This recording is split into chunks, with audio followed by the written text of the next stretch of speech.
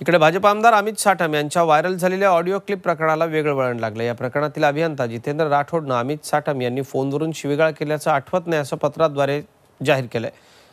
जर खरंच असं असेल तर मग ऑडिओ क्लिपमध्ये आवाज कोणाचा? असा प्रश्न उपस्थित होतो. यावरून आता चांगलंच राजकारण रंगलंय.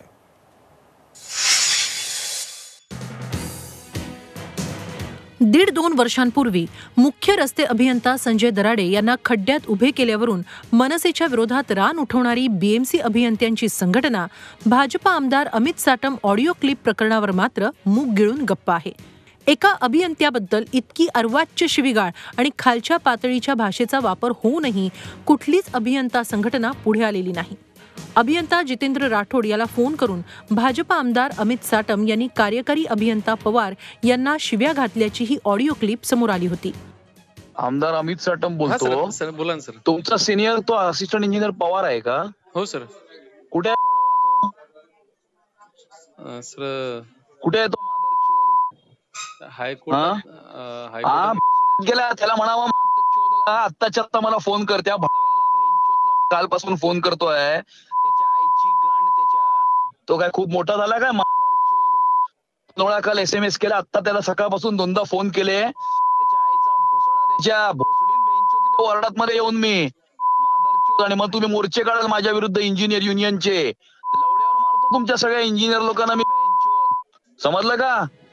ज्या अभियंत्याला फोन करून ही शिविगाळ केली होती त्या जितेंद्र राठोडनं अमित साटम यांनी शिविगाळ केल्याचं आठवत नसल्याचा खुलासा करणारं पत्र के पश्चिम विभागाच्या सहाय्यक आयुक्तांना दिलंय.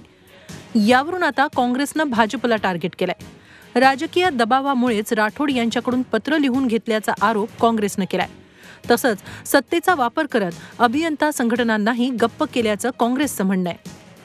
ते सांगतात असं पत्र जे राठोडने लिहिलेलं आहे ते पत्र जे आहे मी स्पष्टपणे इंजिनियर असोसिएशनचे वर दबाव टाकले आहे काय आणि जे पत्र त्यांनी लिहून दिलेलं आहे ते पत्रच्या फॉर्सेनिक लॅबमध्ये टेस्ट करायच्या असं माझ्या मागणी आहे.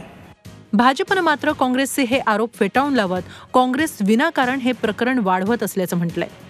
जेव्हापर्यंत पोलीस तपास पूर्ण होत नाही तेव्हापर्यंत विरोधी पक्ष नेते महापालिकेतले त्यांना काय एवढा उत्साह होता त्यांना का त्या प्रकरणात दडपण आणण्याचं त्यांनी ठरवलं किंवा पन्नास हजार कोटीचा भ्रष्टाचाराच्या मागे असलेल्या अधिकाऱ्यांना मदत करण्याचा डाव विरोधी पक्ष नेत्यांनी महापालिकेत केला होता. जे पत्र समोर आलंय ज्या पत्राच्या आधारे आज मी पुन्हा विरोधी पक्ष नेत्याकडे ही मागणी केली की तुम्ही खूप घाई केली मागच्या वेळेस आणि सभागृहाचा वेळ वाया घालवला. अभियंता जितेंद्र राठोडना शिविगाळ झाल्याचं आठवत नाही. एकही अभियंता संघटना या विरोधात आवाज उठवत नाही. याचा अर्थ केवळ सत्ता हा आहे. अमित साटम पवार यांची प्रेमानं विचारपूस करत असतानाही शिविगाळ करणारी कथित ऑडिओ क्लिप कुणी प्रसारित केली आणि त्यातील आवाज कुणाचा आहे याचा शोध घेण्याची गरज आहे. Krishnat पाटीलसह bureau report Zee media Mumbai. Zee चोवीस तास. रहा एक पाऊल पुढे.